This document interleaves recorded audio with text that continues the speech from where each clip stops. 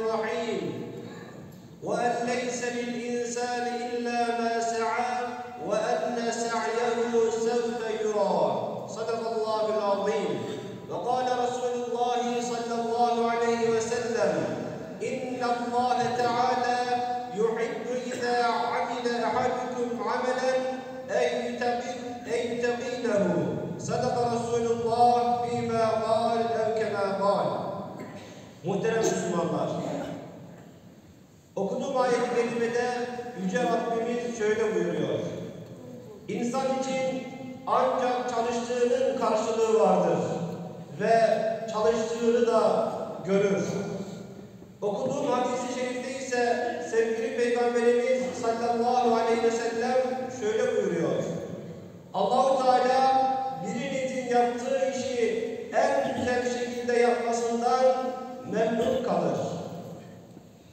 Muhterem müminler, Yüce dinimiz İslam'ın gönderiliş gayelerinden biri de hayatın her alanında güzel ahlakı kendine rehber edinen bir toplum inşa etmektir. Cenab-ı Hak dünya ve ahiret mutluluğu için bizlere ibadetleri emrettiği gibi işimizde de bizlerden ahlaklı olmayı istemiştir. İş ahlakı, doğruluk, güven, saygı ve adalet gibi temel değerleri işimize yansıtmaktır.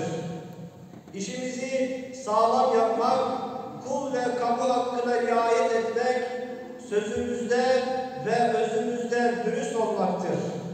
Her daim helali gaye edinmek, kazancımıza haram, dilimize yalan bulaştırmamaktır. Kıymetli Müslümanlar, iş ahlakı çalışma hayatının tamamını kapsayan bir değerdir. Memur olmanın ahlakı olduğu gibi amir olmanın da ahlakı vardır. İşçi olmanın ahlakı olduğu gibi işveren olmanın da ahlakı vardır. Esnaf olmanın ahlakı olduğu gibi müşteri olmanın da ahlakı vardır. Memur olmanın ahlakı devletine sadakatle bağlı kalmak, milletine nezaket ve özveriyle hizmet etmektir. Amir olmanın ahlakı ise hak ve adaletten asla ayrılmamaktır. Himayesindeki kişilere hakkaniyetle davranmaktır. İşçi olmanın ahlakı, işini sağlam ve kaliteli yapmak, iş yerini işverenin emaneti olarak görmektir. İş yerinin imkanlarını şahsi ihtiyaçları için kullanmamaktır. İşveren olmanın ahlakı ise işçiye huzurlu bir iş ortamı oluşturmaktır. Onu sosyal haklardan mahrum bırakmamaktır.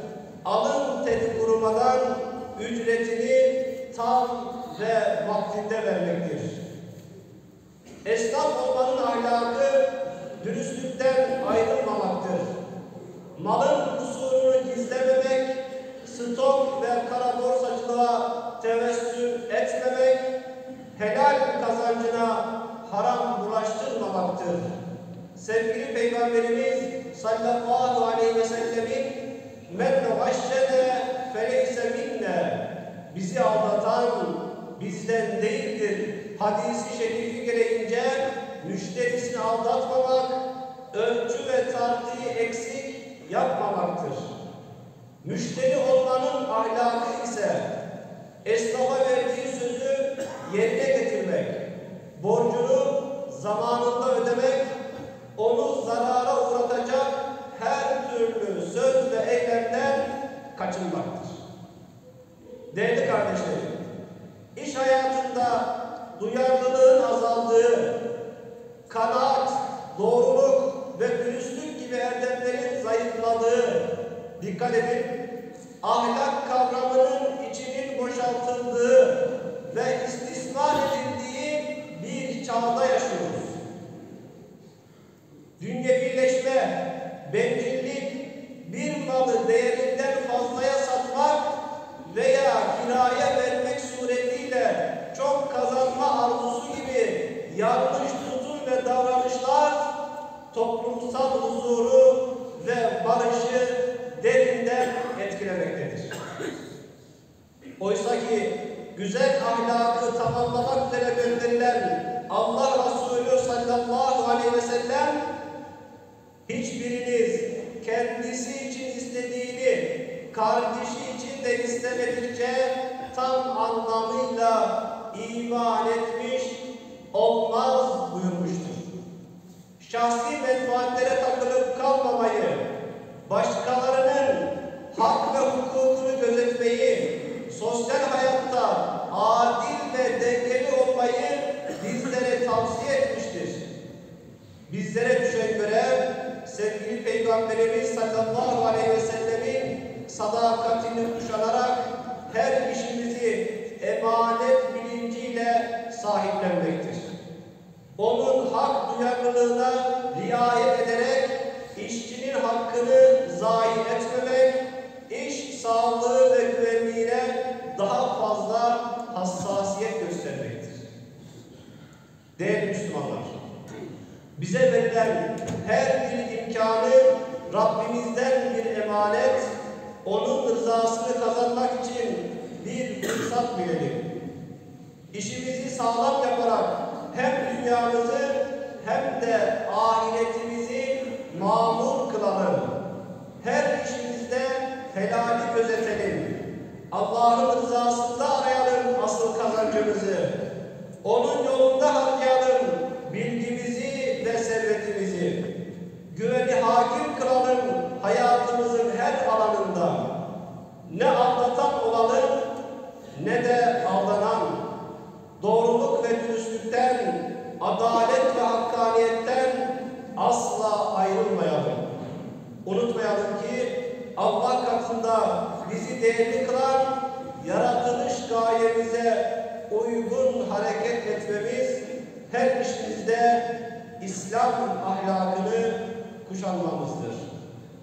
Değerli müminler, Cuma namazlarını takip Sinop ili Merkez Hasibe Hatun yatılı erkek Kur'an kursu tadilatı ve erbağımızın ev zaman Kur'an kursu doğal gaz dönüşümü için bu hafta sizlere yardım talep ediyoruz. Cenab-ı Hak verdiğiniz, vereceğiniz bütün yardımlarınızı, yardımlarımızı direkt yardımcı ücretinde ahsen makbulle kabul buyursun. Ela inne ahsenel kelam ve bilahan nizam. كلام الله الملك العزيز العلام كما قال الله تبارك وتعالى في الكلام وإذا قرئ القرآن فاستمعوا له وأنصتوا لعلكم ترحمون. أعوذ بالله من الشيطان الرجيم. بسم الله الرحمن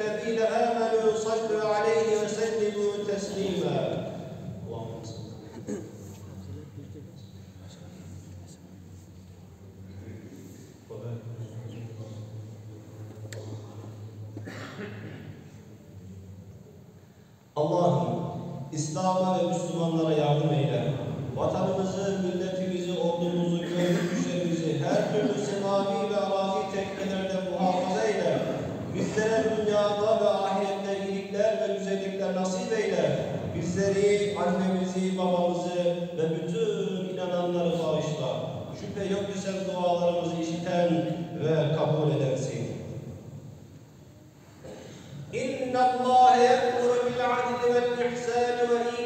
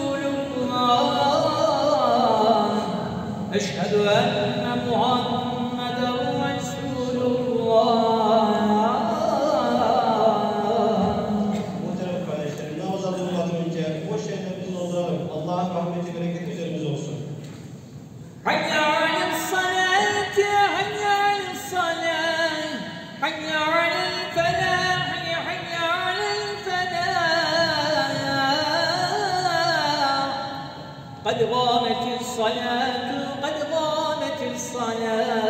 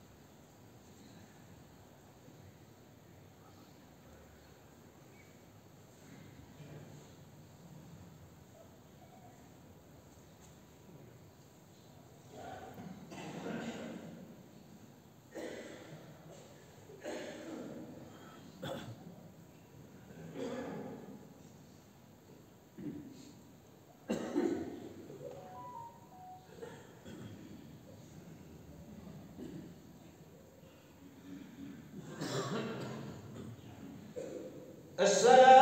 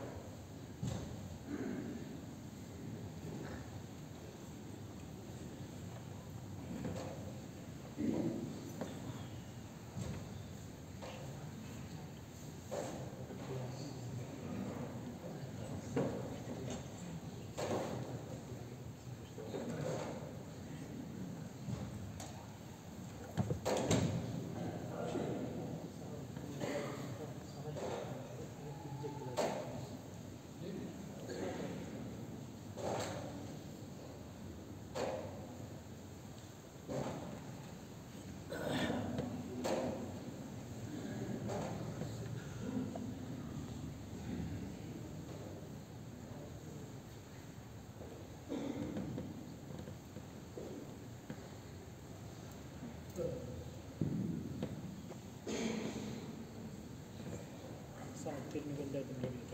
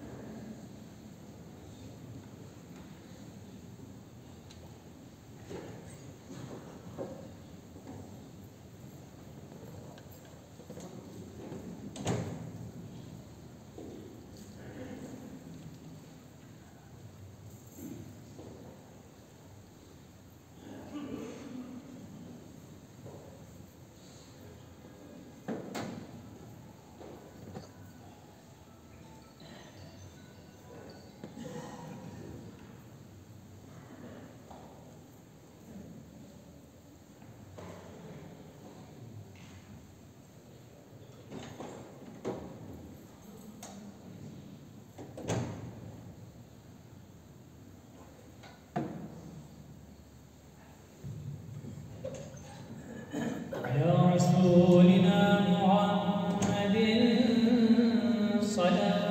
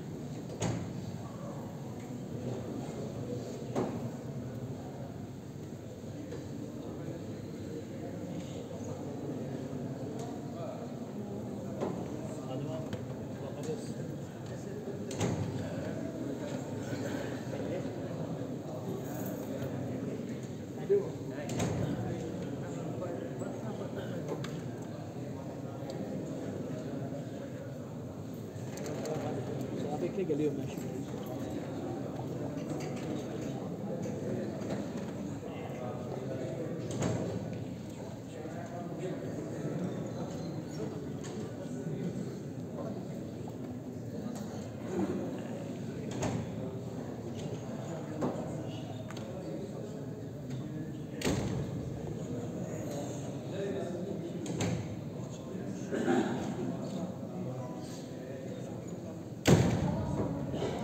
Hayırlı cumalar başkanım.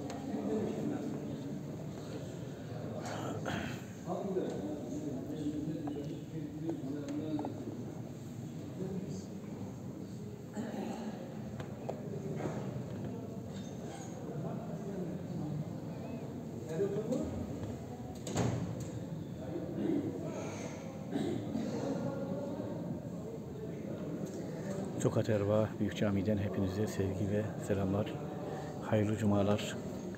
Bugün 28 Nisan 2023. Hoşçakalın. Bizi izlemeye devam edin. Kanalıma abone olun.